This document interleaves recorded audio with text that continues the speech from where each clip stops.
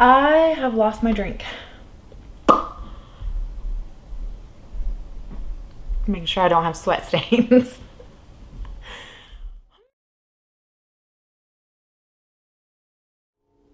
okay, you know who this video is for? This video is for all of you nosy girls out there who are like me.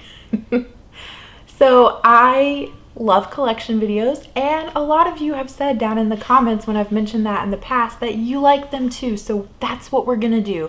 And I thought a perfect way to start off something like this now obviously it's gonna be multiple videos because doing it all at one go would just be far too long.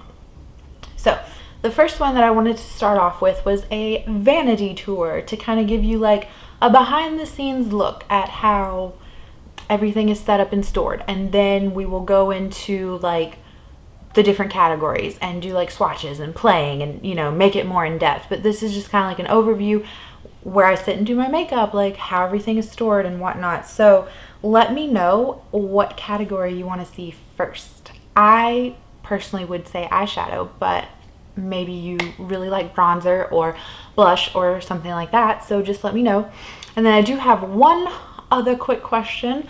I um, have mentioned in the past that I have like a really hard time. Sorry, my dog like shook the tripod.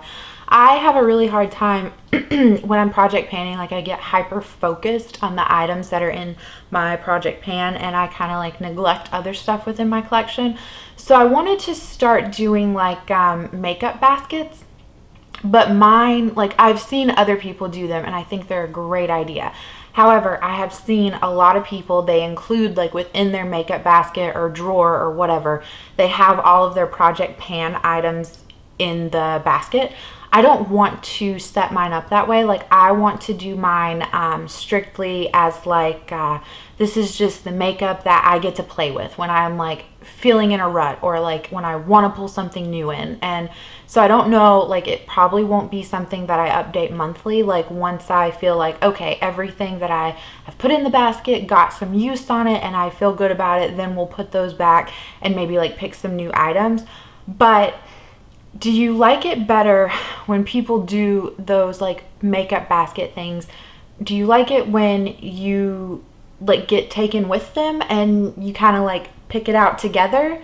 Like I know this isn't live, so there's not like you're picking it out together, but you get to like see the process at the like drawer. Or do you just like it like if I came on with the basket and was like, here you go, like this is what's gonna be in it?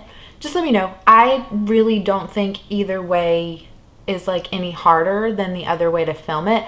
I just don't know like what the preference is. I don't particularly have a preference like when I watch people do those videos. So just thought I would put it out there. But that's enough for like a rambly intro. So the last thing I will say is that I'm going to hold the camera. So if it's a little shaky, then that's why.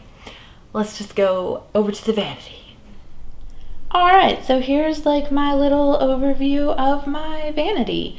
Um, yeah, I don't really know where to start. Let's just, okay, you know, chair with pillow, and then it's like my little notebook where I keep notes. and then underneath it is um, that cardboard box is like for if I have anything that's empty and needs to go into recycling. And then this bin here has like my extra sponges. It has like for instance, this is an empty bottle of the Ofra um, setting spray, but I haven't, I put this into another sprayer. So I haven't finished this off, so I didn't want to put it in my empty, so it goes in here. Um, have like my little go-to travel bag. Hello, kitty. And then all of my like loose um, eyeshadows that I haven't pressed are down in a box in there. So that's that. Um, so here's the actual table. So have all of my brushes like in the corner, my EcoTools uh, sponge. Let's see, all of like my lip products live up here. Most of my foundations live up here too. And the two like tubes of open mascara that I have um, have quite a bit of lip balms up here. And then these are the eyeshadow palettes that just kind of live on my vanity for right now. The Lorac Mega Pro 3 is in my roulette uh, 50 pan project pan right now. So once I meet all my goals on the shades in here, this will actually go back in with like other eyeshadow palettes. I just keep it there for ease. Um, this is my Tarte Clay Play palette. I use this in some way almost every day. Oh, hello, you can see my, let me move. I use this some way like in every, so, yeah, I use this every day in some way. So um, that's why, and I love the mirror on this. There's our Pan That palette. And then my Tati Beauty palette gets to live here because I have fallen in love with this. I think this is my favorite eyeshadow palette ever. And I never, like, usually it was so hard for me to say, like, oh, this is my number one, like, top palette. This one, I, with, like, ease can say that it's this. I love the pressed glitters, the, you know, sequins. I just, it's such a good, like, just textured palette. I just love it. But anyway, that's not what this video is about. Um, and there's my little mirror. Again, you can see me. this like little thing used to have like chocolates in it. And so I just saved it. So it has like my ColourPop Super Shock shadows that I'm currently like working on in different projects. Um, it has like some highlighters, um, stuff for like the Partners in Cream. It has like my one color corrector, my dip brow, and then some empty pans that I need to like sanitize and clean off and then I found my drink. um, this is actually something that is you put your hair through the hole and then fold your hair over it and it makes like a perfect bun but it also works as a color switch for your eyeshadow. As you can see it's very dirty. I need to clean it. But I just thought that the actual like little color switches that you can buy in the pans like I just wasn't gonna pay the amount of money for that when this was all of like a dollar at Walmart so.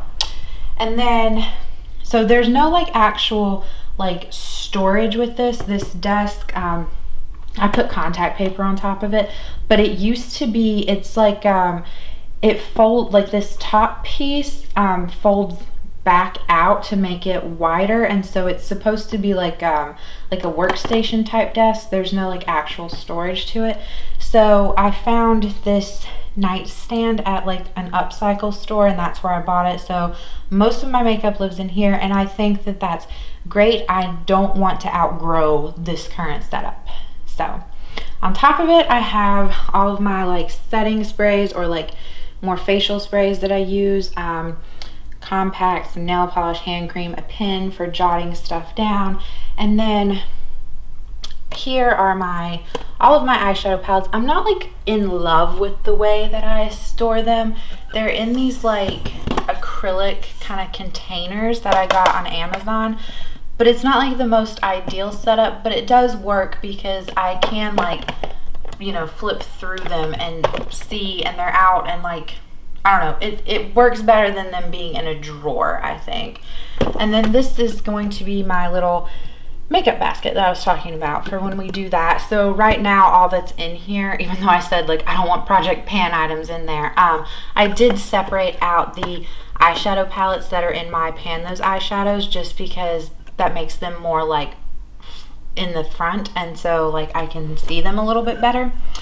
Um, so this might be a little messy, but if we open up the first drawer, I don't know, I'm trying to like give you a good yeah, there you go. That's a good shot. So, um, in this little kind of box, there's all of my ColourPop Super Shock shadows. Um, I have some smudge pots.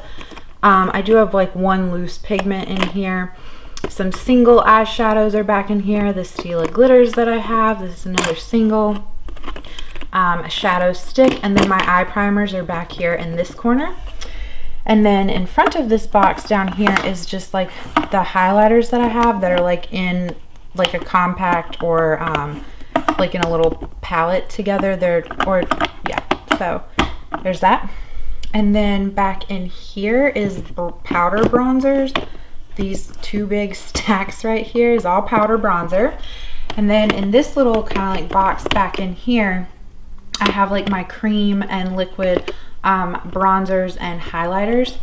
And then this, there's a blush. There's my The Balm palette. And then underneath that, this is like a little bit messy over here. There's my Tarte Hamptons Weekend Contour. This is a Z palette I have with um, five blushes and two highlighters within it. And then this is my only other blush palette that I have that I got for Christmas. And then underneath all that is my singles and my cream blushes. So let me quickly kind of put this back, maybe in a little bit of a better order. And I know like even though most of those blushes are like hidden, it's not like I still like I know that they're down there and I need to use them so it's not like out of sight out of mind so I don't mind the way that this drawer is actually like set up for storage. It might seem a little like messy and chaotic but it's what works for me. So then the last thing to show you is down here. Now this one looks a lot worse I think.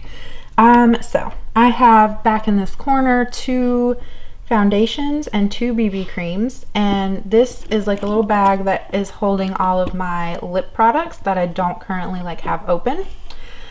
These are concealers, pressed powder foundations, um, pressed powders, loose powders are back here in this corner, unopened mascaras, um, like cat like a cat ear headband that I like never wear.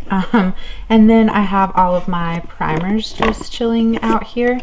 So yeah, that's uh, it's not it's not as bad as it looks, I guess, upon initial inspection. Like everything stays pretty well organized and I like the two drawer system because I like I know exactly where I keep everything and what's in what drawer.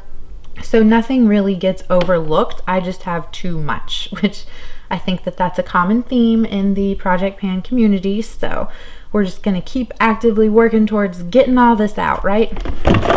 But that's it. That's all I have for you. I hope that you guys um, enjoyed it. And, uh, you know, yeah, let me know down below which collection video you want to see first. And other than that, I will catch you guys in the next one. Bye.